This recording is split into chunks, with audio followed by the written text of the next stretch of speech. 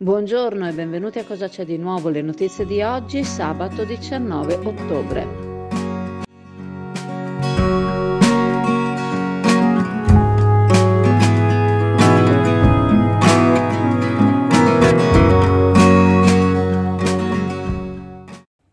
Sottopasso dell'ospedale, quello che porta al cavallo, quello che sembra essere abbandonato a se stesso ormai da anni. Per la prossima settimana è previsto l'avvio dell'intervento che dovrebbe appianare le criticità attuali, quali gli allagamenti ripetuti. Il sottopasso è incluso nel percorso della ciclovia Vento, Venezia-Torino, un motivo in più per renderlo più ordinato e meno disagevole, rende noto l'assessore Mancin, comunicando che si andrà quindi a impermeabilizzare la zona. Un passaggio importantissimo, afferma il sindaco Armelau, che un paio di settimane fa ha festeggiato l'inizio del mandato, 4 ottobre 2021.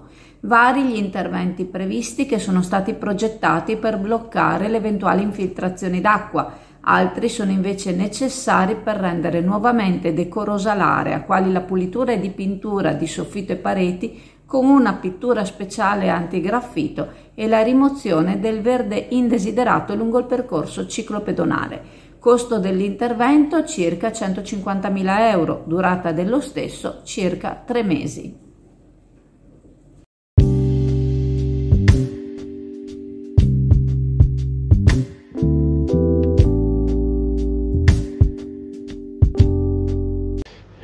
Ci fa piacere che finalmente eh, si sia saputo eh, attraverso appunto la conferenza stampa eh, di proclamazione del vincitore della rassegna 85esima edizione della saga del pesce e dunque facciamo un applauso alla Sciabica come facciamo un applauso a tutti coloro che hanno partecipato all'edizione, un applauso agli organizzatori, insomma a tutti quelli che hanno operato. Eh, ciò non toglie che comunque, come ho già, ho già detto in tempi non sospetti, eh, questo format, a mio modesto parere, è da cambiare.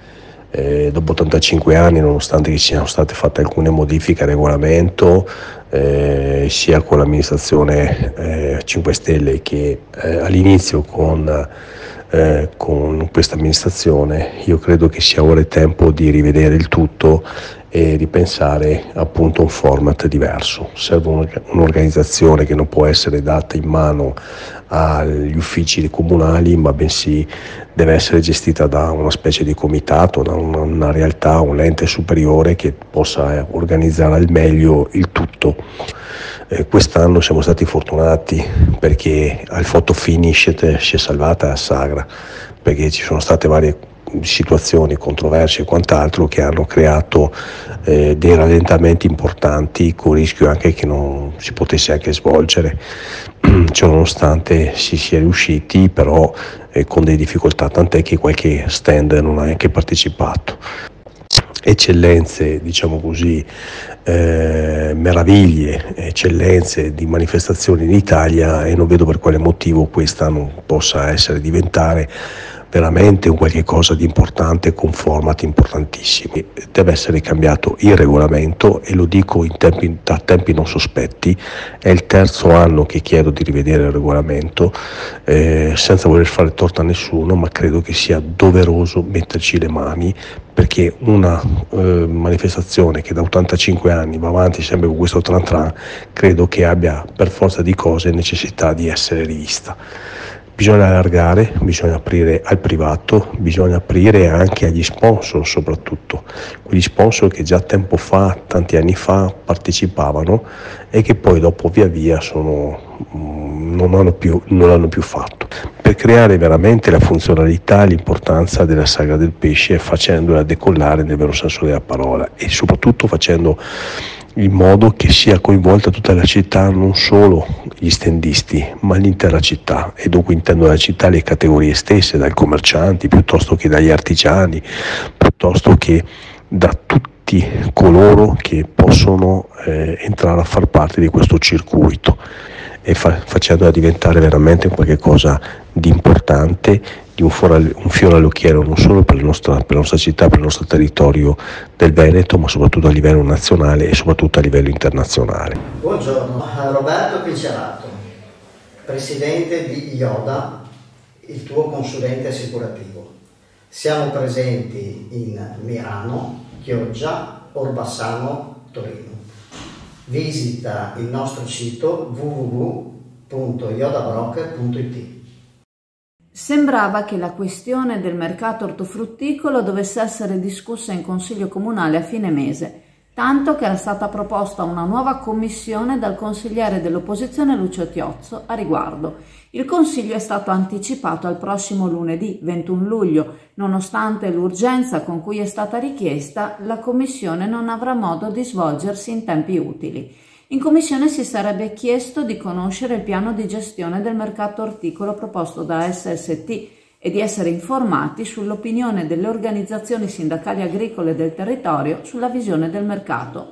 Nel frattempo l'amministratore unico del mercato orticolo Giuseppe Boscolo Palo ci informa che il consorzio agrario che ora ha la sua sede al mercato orticolo di Brondolo si trasferirà al mercato di Rosolina Palo afferma che il giorno 21 durante il Consiglio Comunale sarà deliberata la gestione pubblica del mercato orticolo, escludendo la parte privata e mettendo a dura prova l'esistenza stessa del comparto orticolo, facendo decadere di fatto la tutela delle piccole e medie aziende che il mercato attuale ha esercitato. Un impoverimento del territorio, afferma Palo, al pari dell'eventuale perdita della facoltà di biologia marina dell'Università di Padova che si sta paventando in questi ultimi giorni. Si chiede, Palo, preoccupato per gli scenari che si prospettano, cosa pensano della situazione che si sta venendo a creare e della volontà di affidare a SST la gestione del mercato orticolo di Brondolo, la Coldiretti, la CIA, Confagricoltura. Ci si chiede quanto abbiano influito le prospettive future, forse non così radiose, nella scelta del consorzio agrario di cambiare la propria sede, facendo perdere al mercato un bel profitto derivante dall'affitto dell'area.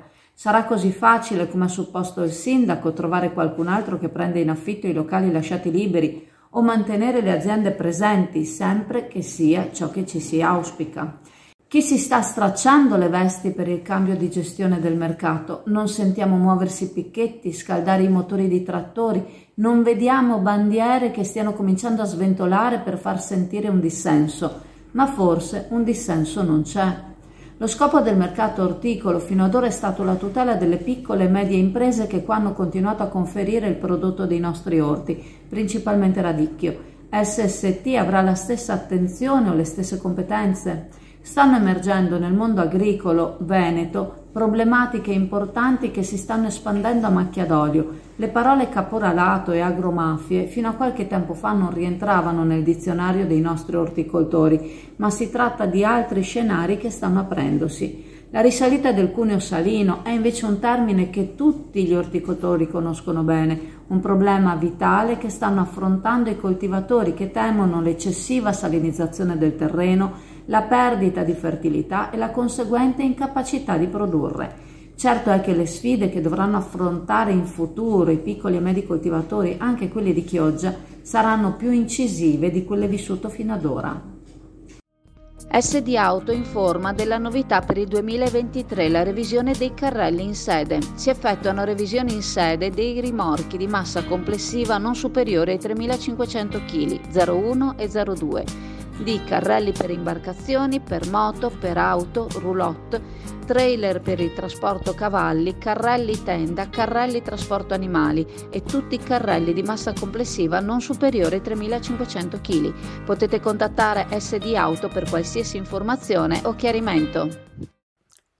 Finalmente l'Università di Padova lancia una campagna sui social per contrastare la disinformazione utilizzando linguaggi semplici per spiegare concetti scientifici.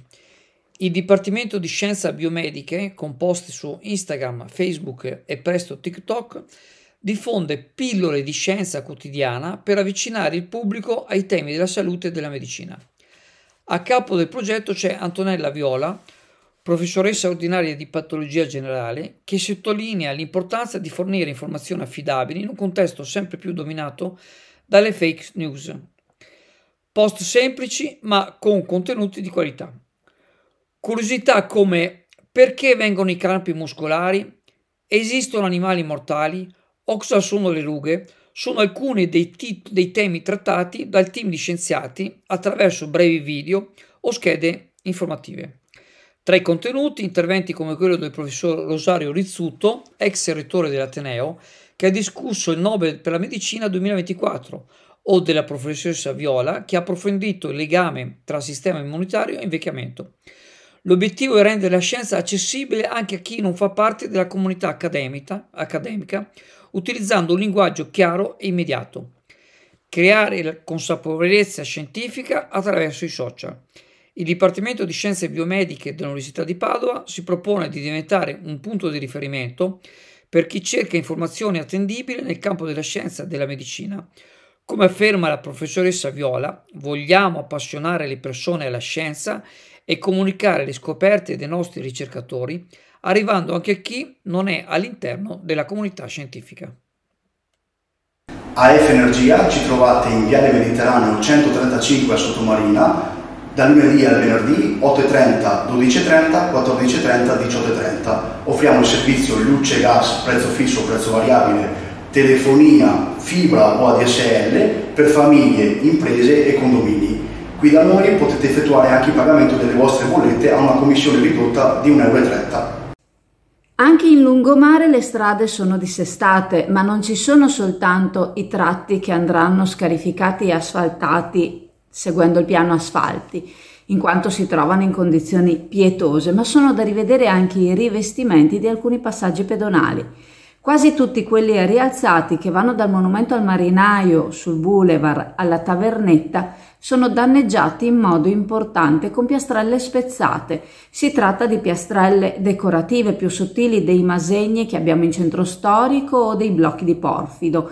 I bordi sono quindi più taglienti e possono provocare danni ai veicoli che transitano. Probabilmente il danno sulle piastrelle è provocato dal frequente passaggio dei tir che provengono dal mercato ittico di Chioggia, non per prenderli sempre di mira come capro espiatorio, ma perché sono quelli che passano con notevole frequenza. Gli asfalti in via di rifacimento in alcuni tratti a macchia di leopardo in altre aree al momento sono a mo' di groviera, pieni di buche più o meno fonde, più o meno pericolose per chi transita sulle due ruote. Un nostro follower ci ha comunicato di aver preso una buca particolarmente insidiosa a bordo del suo scooter. A causa dell'urto ha distrutto il cerchione e ha dovuto sborsare 150 euro per la riparazione. Volendo avrebbe potuto rivalersi nei confronti del comune chiamando le autorità sul posto dopo l'impatto per verbalizzare quanto accaduto. Le probabili lungaggini lo hanno però fatto desistere.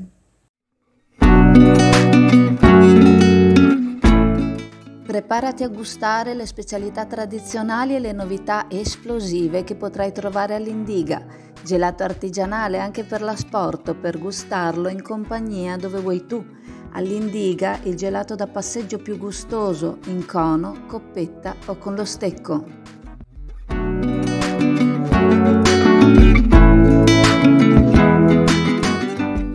Ricordandovi che la farmacia di turno oggi, sabato 19 ottobre, è la farmacia al Lido in Viale Padova Sottomarina, vi saluto e vi ringrazio. Se volete ci vediamo in negozio alla cartoleria Pegaso a Borgo San Giovanni, dove sono già arrivate agende e calendari 2025. Vi ricordo inoltre il sito chiogiazzurra.it, canali Telegram e Whatsapp Azzurra Network News, il canale YouTube Chioggia Azzurra, la nuovissima app Chioggia Azzurra